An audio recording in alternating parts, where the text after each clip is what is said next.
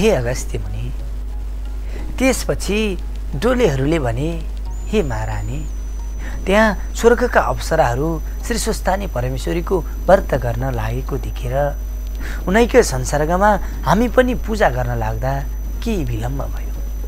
क्षमा गर्नुहोला। हजुरलाई पनि स्वामी स्वस्थानी परमेश्वरीको प्रसाद ल्याइदिएका छौँ। लिनुहोस् भने तिनका यस्ता कुरा सुनि चन्द्रावती क्रोधित भई राता राता आँखा पारेर दारा किटी नागले झैँ नि श्वास फेरेर चुस्केर हाली मत्ता हात्ती रिसाए झैँ ठुलो स्वरले गर्जेर हे पापिष्ट डोले हो मलाई यस्तो जङ्गलमा एक्लै छाडी व्रत गर्न लाग्यो। के सेवकको धर्म यही हो? त्यस व्रतले तिमीहरूलाई खान दिन्छ कि? मैले त सुस्तानी भनेको नाम पनि सुनेको छैन। कहाँको देवी हो त्यो? के नाप्न सक्दछ त्यस? तिमीहरूले मलाई हेला गरेर नटेरेको हो? मनमा भयो र पो। नत्र तिमीहरूलाई म अवश्य मार्ने थिएँ। म कहिले पुगौँ भनेर हतपताइ आएको मलाई तिमीहरूले विलम्ब अपराधीमा पनि ठुलो अपराधी तिमीहरू जस्ता व्यक्तिहरू नै भन्दछन्। यति भन्दै बानर उफ्रे झैँ उफ्री डोलेहरीको हातबाट श्री सुस्थाने परमेश्वरीको प्रसाद खोसेर थुथु गरी थुकी घोडाले कुल्चिएर फ्यालिदिन् फेरि पनि यसै गरौला कि चाँडै लैजाऊ भनेर। तब बिचरा ढोलेहरू डराई केही बोल्न नसकी। आँसुका धारा भगाउँदै मनमा श्री सुस्थानी परमेश्वरीलाई सम्झी चुपचाप टोली बोकेर हिँडे लाभण्डे देशको नजिकै साली साली नदी नामकी नदी थिइन्। त्यहाँ पुगेर आधा नदी तरेपछि श्री सुस्थानी परमेश्वरीको निन्दा गरेको हुनाले अकस्मात चाँदनी टाँगे झैँ मेघ उठेर मुसलधारे पानी पर्यो अनि ठुलो हुरी आएर पुल भाँचियो। हुरीको बेगले चन्द्रवती साली नदीमा डोलीबाट खसिन्। डोलीहरू श्री सुस्तानी परमेश्वरीको व्रतका प्रभावले पन्छी रूप भई कैलाशमा गएर आनन्द लिइरहे।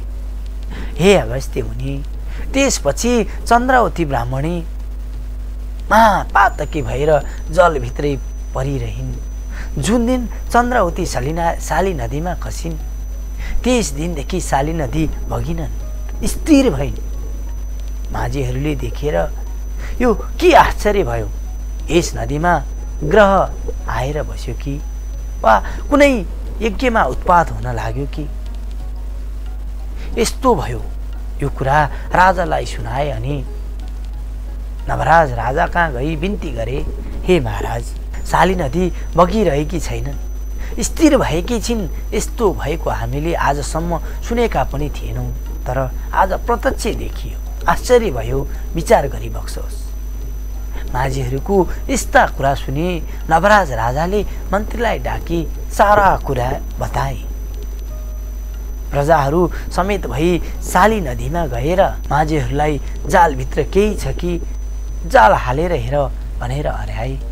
माझीहरूले जाल हालेर हेर्दा चन्द्रवती जलमा जालमा अल्झिएर पानीको बाहिर आइन्।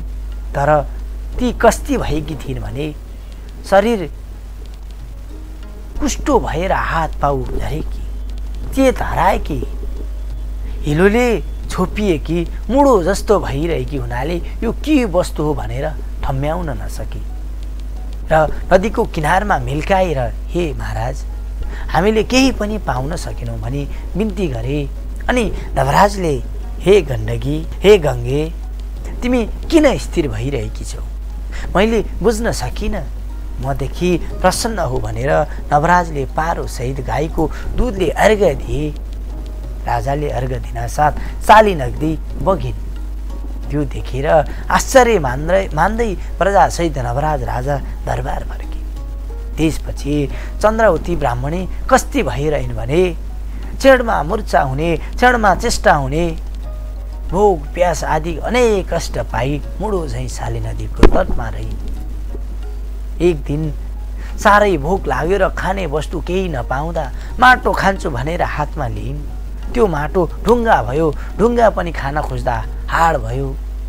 हाड पनि खान खोज्दा खरानी भयो र खरानी पनि खान खोज्दा ठुलो हुदी आएर उडाइ लग्यो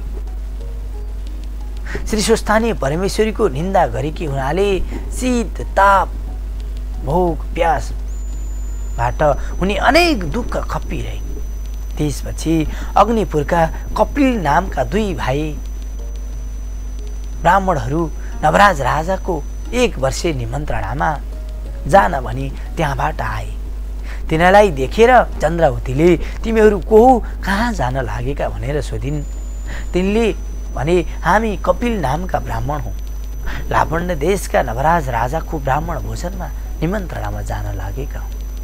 चन्द्रावतीले भनिन् हे ब्राह्मण हो म कति दिनदेखि केही पनि खाएको छैन। तिमीहरू भोजनमा जाने भए मलाई पनि केही मागेर ल्याइदिए पुण्य होला। म असहाय अनाथ माथि दया गर। तब ती ब्राह्मणहरूले हे पापिनी अहिले हामी यसै हुन्छ भन्न सक्दैनौँ। किनभने राजाको महलमा के कसो हुन्छ भन्न सकिन्न। फेरि हामी ब्राह्मणहरूले ल्याउनु हुने वस्तु दिए त ल्याउला। ल्याउन नहुने वस्तु दिए भने कसो गरौँ? त त आश गरेर भरोसामा नबसेस्।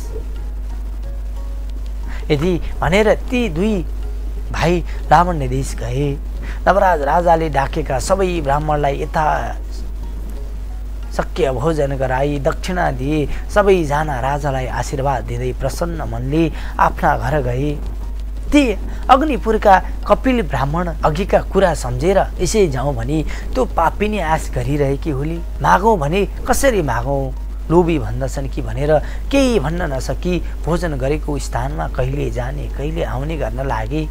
तिनको यस्तो चाला गुमा राजमाताले झ्यालबाट देखेर भण्डारीहरूलाई भनिन् हे भण्डारी हो यी दुई ब्राह्मणले खान पाएनन् कि? सन्तुष्ट भएन र हो कि? किन घुम्दैछन्? सोधा। अनि भण्डारीहरूले तिनको नकिच गएर भने हे ब्राह्मण हो तिमीहरू खान पाएनौ कि तृप्त भएनौ कि इच्छा भए फेरि भोजन गर। अनि ब्राह्मण भन्दछन् हे भण्डारी हो हामीले इच्छा पूर्ण भोजन गऱ्यौँ सन्तुष्टि पनि भयौँ तर हामी आउँदा शाली नदीमा एउटा कुष्ठरोग भई हात पाउ खसे कि कोही स्त्रीले स्त्रीलाई देखि कहाँ जान्छौ भनी? सोधे हामीले राजाको ब्राह्मण भूषणमा जान्छौँ भन्दा तिमीहरू भूषणमा जाने भए मलाई पनि केही मागेर ल्याइदिए यति दिनदेखि खाएको छैन भनेकी थिए अत। अब यसै जाउँ भने त्यो पापिने आश गरिरहेकी होली केही लगिदिउँ भने कसरी मागौँ भन्ने सङ्कोचले यताउता हिँडिरहेका छौँ। त्यो कुरा भण्डारा भण्डारीहरूले राजमातालाई सुनाए। अनि उनले ती दुईजनाले बोक्न सके जति अन्न दिनुहोस्। दिनु भनिन्। र भण्डारीहरूले भण्डारमा राखेको वस्तु दिन लाग्दा राज राजाको सम्पूर्ण भण्डार नै सुक्यो। दिने जस्तो वस्तु केही पनि नपाई राजमातालाई बिन्ती गरे। राखेको स्थानमा कुनै वस्तु पनि छैन। के दिने? यति सुनि गोमा आफै गएर भण्डारमा हेरिन्। र दिने वस्तु केही पनि नदेखि आफूलाई भनेर पकाएको भात त्यही दियो भने। भण्डारीहरूले त्यो भात लिएर गई ब्राह्मणलाई भन्दछन् हे ब्राह्मण हो त्यसको लाम नाम लिनासाथ राजाको सम्पूर्ण भण्डार नै सुक्यो। यो राजमातालाई पकाइराखेको भात छ। यही लगिदियो भने जिम्मा लगाइदिए ब्राह्मणहरू लाज मान्दै त्यो भात लिएर दरबारबाट निस्के। तिनीहरू जान साथ राजाको भण्डार पहिलेको जस्तो भयो। जहाँ जहाँ जुन जुन वस्तु राखेको थियो त्यहीँ त्यहीँ देखियो अनि हे भक्त श्रोता हो। उपनयन्तु मङ्गलं व सकलजगत्मङ्गलालय श्रीमान् दिनकर किरण निबोधित नवनलिन दलनिवेक्षण कृष्णकाले वर्षतो पर्जन्य पृथिवी सस्यशालिनी देशोऽयं क्षोभरहितो ब्रह्मणा सन्तु निर्भया। अपुत्रा पुत्रिण सन्तु पुत्रिण सन्तु पौत्रिण निर्धना सदना सन्तु जीवन्तु शरदं शतं तत्रैव गङ्गा यमुना च तत्र गोदावरी सिन्धुसरस्वती च।